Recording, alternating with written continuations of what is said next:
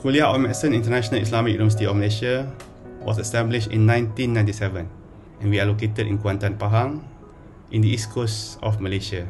Since then, we have been producing many medical scientists and clinical specialists all over the world. Our educational programs incorporate the concept of Tawhid and Islamization of human knowledge in teaching, research, and all aspects of life. I recently graduated with a PhD in February of 2020. Of course, achieving that was an important personal and career goal of mine. I chose to do my PhD at Kulliyyah of Medicine IIUM because I was confident that I would be given proper guidance, adequate support, and motivation to complete my studies.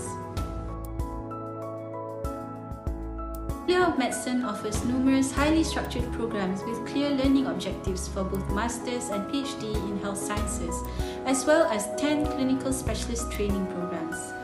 Master students in Basic Medical Sciences can choose from numerous courses offered, either as mixed mode or research-only mode, with some courses not offered in other non-medical faculties. Kulliyyah of Medicine has over 120 qualified academic staff. They are recognized as medical scientists and medical specialists in both national and international level. With our qualified lecturer and staff, we offer various postgraduate programs in both basic medical sciences and clinical specialist training. Our clinical specialist trainings are being supervised at national level by each medical specialty. We also have our own university hospital for to train our clinical postgraduate students.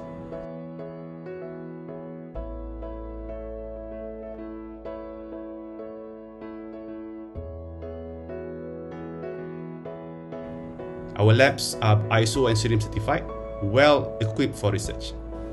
One of the advantages of choosing to do my PhD here was that even though there were many studies using animal models being conducted by research teams, the Basic Medical Sciences Department, which mainly consists of medical doctors, were keen to also conduct human related research. I myself chose to study hypertension in pregnancy. Researchers who have medical degrees and PhDs, as well as clinical specialist doctors, a special group of people with experience both in the labs and in the hospital. Those were my supervisors and my peers.